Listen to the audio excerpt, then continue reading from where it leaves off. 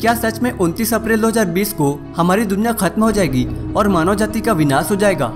कई बुद्धिजीवी लोगों का कहना है कि 29 अप्रैल को हमारी पृथ्वी से एक उल्का पिंड टकराएगी और हमारी पृथ्वी का अंत हो जाएगा।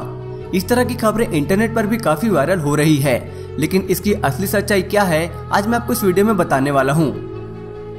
तो दोस्तों, बने रहिए इस वीडियो के अंत तक, लेकिन वीडियो शुरू करने से पहले इस वीडियो को लाइक ज़रूर कर दें।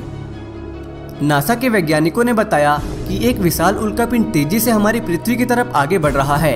अगर ये उल्कापिंड हमारी धरती से टकरा गया तो पूरी तरह से हमारी पृथ्वी नष्ट हो जाएगी और इंसानों का अस्तित्व ही खत्म हो जाएगा। ये उल्कापिंड इकतीस हज़ार किलोमीटर प्रति घंटे की रफ्तार से हमारी पृथ्वी की तरफ़ आगे बढ़ रही है और नासा के वैज्ञानिकों के अनुसार इसका साइज़ एक विशाल हिमालय जितना बड़ा है। एक तरफ़ जहाँ चीन से आए हुए इस वायरस ने इंसानों के अस्तित्व को खतरे में डाल दिया है, वहीं दूसरी तरफ़ इस उल्कापिंड ने हमारी पूरी पृथ्वी Likey